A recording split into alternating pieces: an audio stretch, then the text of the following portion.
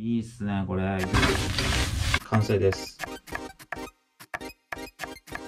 えー今回はですね、おうち時間が最近長くなってることもあって、自宅のキッチンを改造していこうかなと思いまして、新しいコンロを購入いたしました。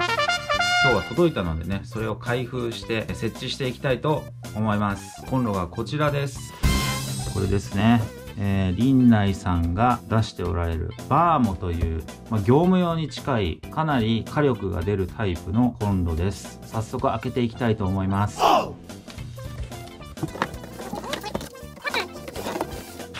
説明書とかいらんやろこれ。とりあえず説明書出して。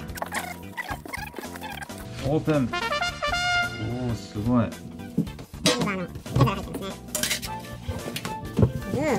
あ意外と軽い正面はこんな感じです。いいっすねこれ。業務用っぽくて。お得もしっかりしてる。重い。でこれ見てこれ。安全装置ついてますね。これ多分なんか空だき防止の自動で消えるやつ。業務用だとあんまついてなくて家庭用はこれついてるんですよね。空だきしても安全なんで。業務用のコンロ入れようかなとも考えたんですけどやっぱこれが火力も強いしフラットなので掃除がすごいしやすいんですよ。これも外しちゃえば拭きやすいんでね。バッチリのタイミングできたな。来ましたよこれ。都市ガス用ここに新しいのをつけていきたいと思いますのでね。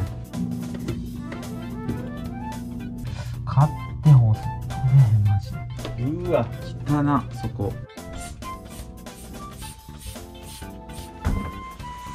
お得のパーツをねちょっとつけていきますのでね。こうかな。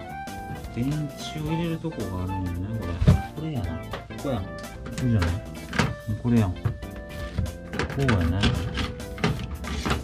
おおこうやああいいねこれ長押ししたら高音になるねすごいねホースどこ行ったこれねつけてねおいいねこっちに回して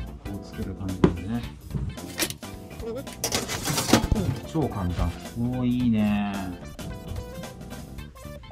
前のねコンロのけたらめちゃくちゃ汚かったんで掃除してます。まあこんなもんでしょ大体。では早速サイズは測ってたのでバッチリですね。こんな感じ？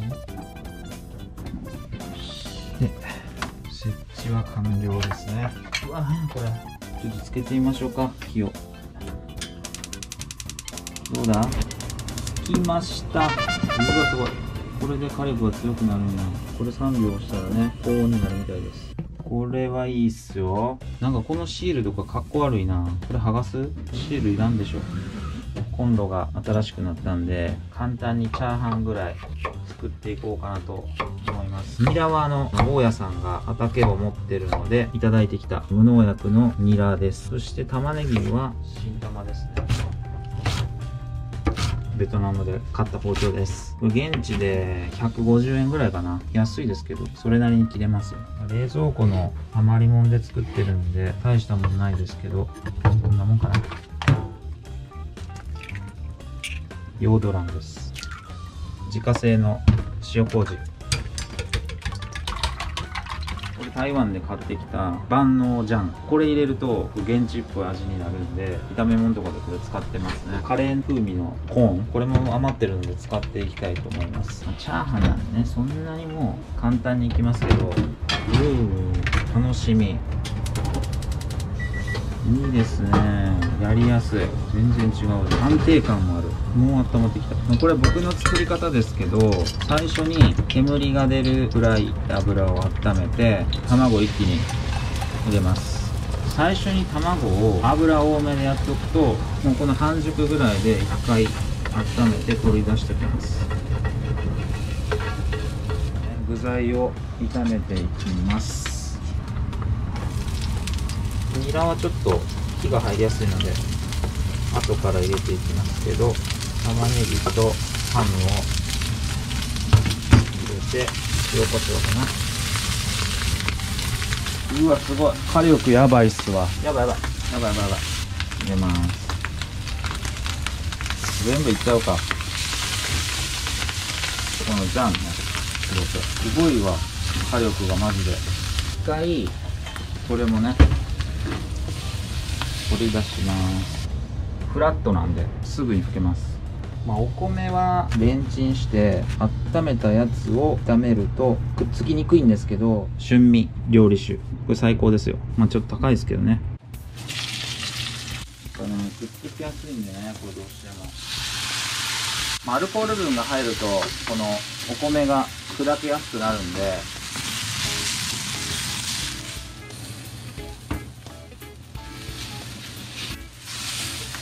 このフライパンくっつきすぎるんでやめます。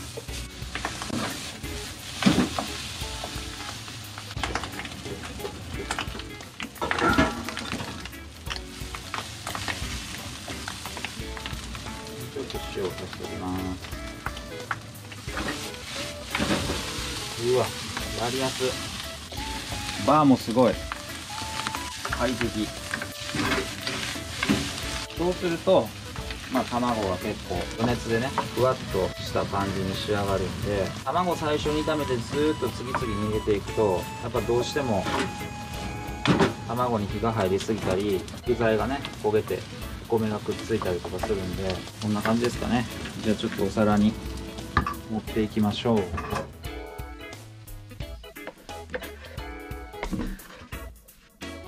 完成です。いただきます。うん。うまい。やっぱチャーハンは火力っすよね。